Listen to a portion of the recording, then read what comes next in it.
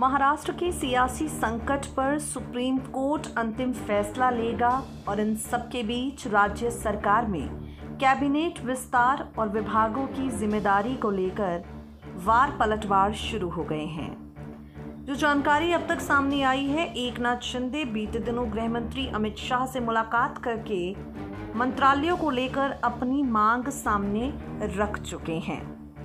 एक नाथ शिंदे साफ़ साफ़ अमित शाह को बता चुके हैं कि उन्हें कौन सा मंत्रालय चाहिए? उनके समर्थकों को कौन से मंत्रालय की बागडोर चाहिए?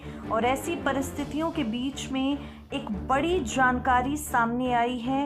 ये जानकारी देवेंद्र फडणवीस को लेकर है। आपको बता दें, डिप्टी सीएम देवेंद्र फडणवीस को लेकर बड़ा फैसला भारतीय जनता पार्टी लेने की फिराक में हैं। फडणवीस, जिन्हें मुख्यमंत्री न बनाए जाने को लेकर समर्थक पहले से खफा हैं। अब जो जानकारी सामने आई है, अमित शाह ने कैबिनेट विस्तार में।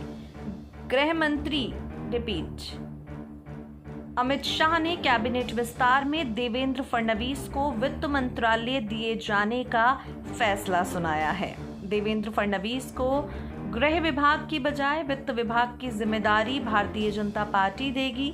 महाराष्ट्र के उप मुख्यमंत्री देवेंद्र फडणवीस को वित्त विभाग के साथ सिंचाई या कोई और विभाग भी मिलेगा, जो भाजपा को 2024 में मदद करेगा।